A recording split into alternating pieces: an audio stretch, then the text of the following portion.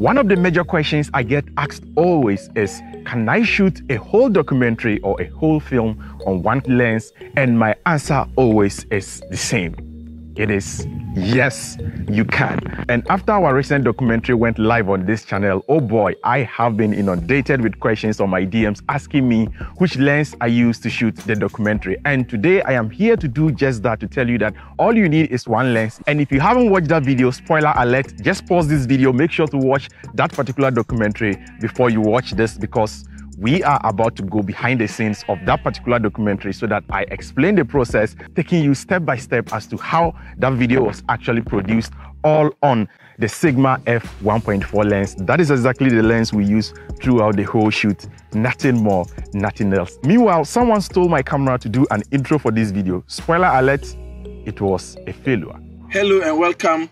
Hello and welcome to the Africa Amaze channel. On this channel, we teach you photography, cinematography, videography, and all its other related courses.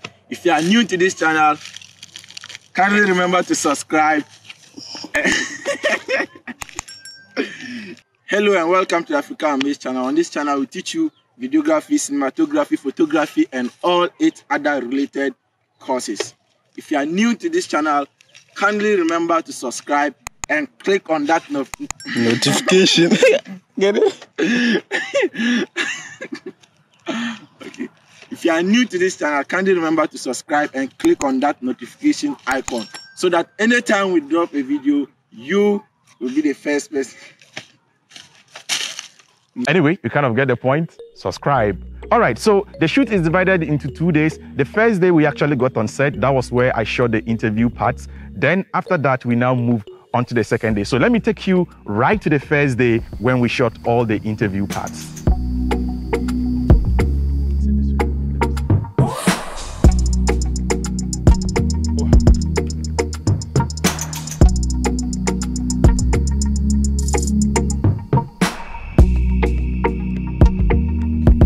Kind of decided that this is the angle that I'm going to be shooting from. So we have the sun coming in, uh, facing this side of his face. So you realize that one side is a little bit uh, brighter, then another side is a little bit darker. So that dynamics of light and shadow is really very good on him. And that is why I'm deciding to go with this angle. And again, the background, because I want to shoot really shallow. So I'm getting the background to be a little bit much more blur. But however, I don't want this to be static. So we are going to bring in the motorized slider now, set it up, and we can have the camera move a little bit so that we have the slight left and right movement. And also we're using the Zoom H1n recorder to pick up the audio. We are not going to be using a lapel over here. I'm using a lapel, as you can see. It's a wireless lapel, which is wirelessly sending signals to this camera. But we are going to be recording his own using another mechanism altogether. That is not going to be a lapel. We are going to mount audio on top of his head so that we can record that separately. And I'm intentionally using this side because um, if I come a little bit low, I can see this uh, grass over there. The more you have foreground elements, the more you can accentuate the movement. I can move this camera from this side all the way to this side, but if I don't have any foreground elements, then it is not actually going to be clear. So you have different layers. So you have a foreground, he's a midground, and you have the background. And so each of these layers will be moving at a different speed because remember, objects that are closer to you kind of moves faster, whilst objects that are farther away move slower. So that is kind of like, if you like, the philosophical thinking of the reason why I'm choosing to go with this angle. So let's bring in the motorized slider. If you have watched my recent video on some of the equipment I regret buying, this is one of the equipment I haven't used for God knows in a very long time. So today is going to serve as a very good opportunity to use the slider for the very first time on a shoot like this. So let's get the slider and we set it up. A very good tip for you guys. If you're going to a location and you have um, someone to help, it's really very good. Um, sometimes if you have a dedicated person to carry your equipment around, that is really very good or can really help you in uh, most situations. So it's something that I try to take really seriously, especially if I have someone around to help it is not compulsory. There are certain times it's just you alone, and um, hey, the work still has to go on. You have to get things done. So in those cases, I kind of understand you. Just go ahead and uh, do it what you have. If you're alone, shoot alone. Instead of using one stand, I intend to use two stands just to make it balanced so that I have one at the other side and one um, at the other end. So let's throw a timer on the clock and see how long it takes to set this up because if you have watched my other tutorial, you realize that I did complain that bringing such a thing to set, one of the major reasons why sometimes you feel lazy in kind of bringing it is the time it takes to set up. So let's see how long it takes.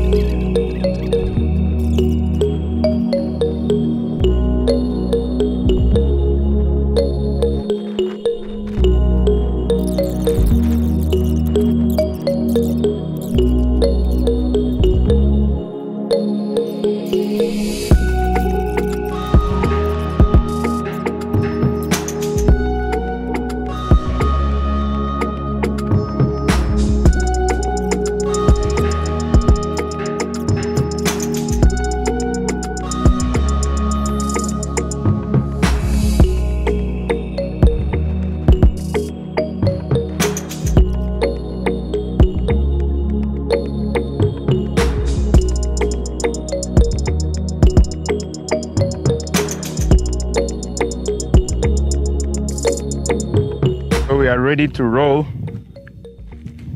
Okay, so in three, two, one,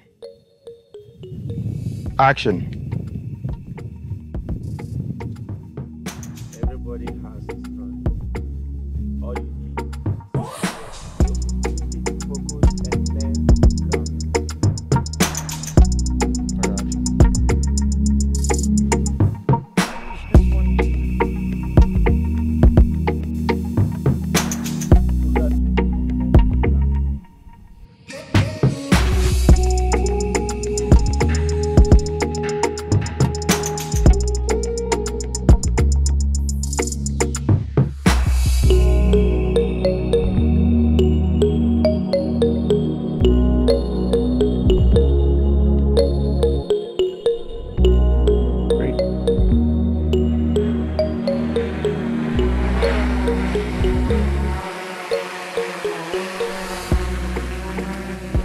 Don't do this, guys. Always find a safe place to land. So at this point, we were done. We landed the drone and the whole place was dark. So we had to get back home, prepare for the next day shoot. So this is the next day. Basically, for today, um, we are going to be shooting the B rolls over here. Fortunately, we got here slightly a little bit late, but it's exactly the time because as you can see, the position of the sun currently is still the magic hour. So that is really very good. And yeah, from yesterday, we didn't detach the motor from this again. So at least now it's already ready to go. Um, we are not going to struggle in fixing that. And so all I need to do is just to connect all the power sources.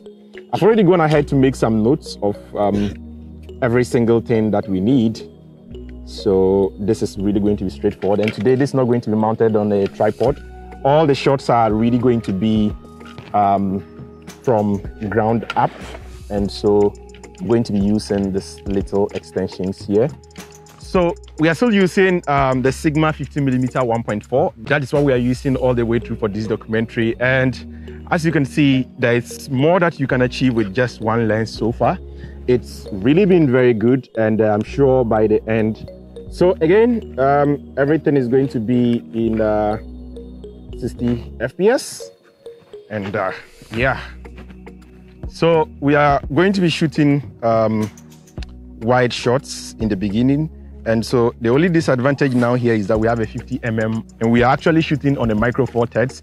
That's a huge disadvantage in this area. I can't really get really extremely wide shots because this is already a 100 millimeter lens instead of a 50 millimeter means we are zooming into the lens twice. So a 50 mm lens like this on this camera at this point is 100 millimeters. So we are quite zoomed in. So because we want a wide shot, we have to go all the way back, far away, in order to be able to get a wide shot.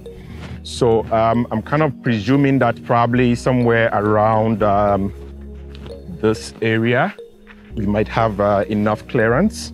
So I need to have a look first, just to be sure. And